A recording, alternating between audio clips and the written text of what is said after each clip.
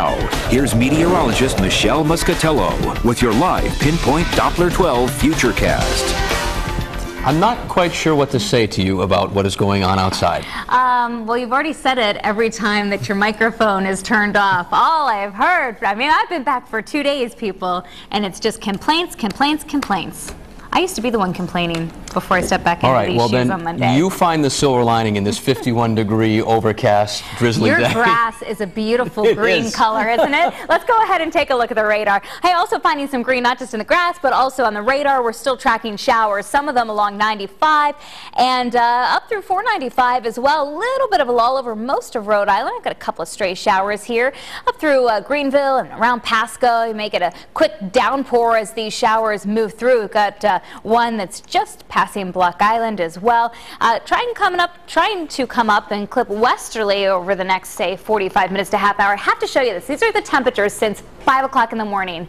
Notice they have barely budged. We've gone from 48 degrees to 50 degrees and not expecting much more of a climb as we head into the afternoon either. And it feels even cooler than that. It's a raw northeasterly wind at 12 miles an hour, giving us a wind chill of 46 degrees and the humidity high 93%. So upper 40s to around 50 in Newport right now. A little bit warmer as you head towards the Cape and the islands. That'll be the case this afternoon. Uh, for the future cast second half of the day, some of those hit or miss showers, about 53 between 3 and 5 o'clock this afternoon. The average high should be 69, almost 70 degrees uh, as we head into the middle of this month. But the evening commute showing those showers, gray skies, roadways will likely still be damp.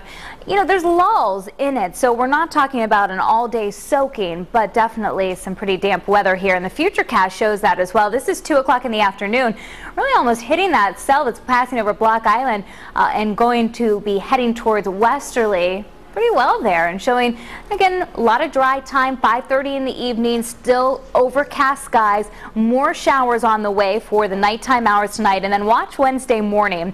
Uh, looks like we could see more rain maybe even steadier and more widespread as we head into the daytime tomorrow.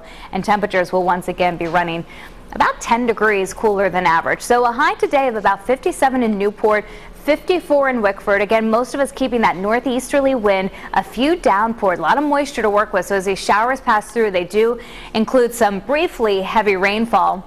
About 51 in Burrillville, 50 Foster Center, and 52 in Johnston. A little bit milder again as you head towards New Bedford, Little Compton at about 56, Seekonk at 53, and Fall River also in the lower 50s. On the bay. Cloudy skies there, fog, showers.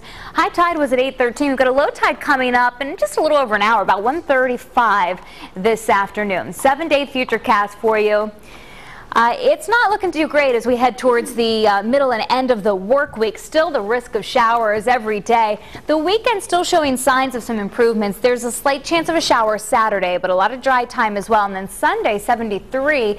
And it's looking like we see, could see some warmer temperatures as we head into next week. So I've got Monday right now at 75 degrees. You can get your updated future cast by heading to our website at WPRI.